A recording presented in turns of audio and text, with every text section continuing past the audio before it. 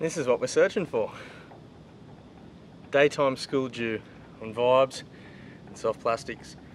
The hook two helped me sound the bottom.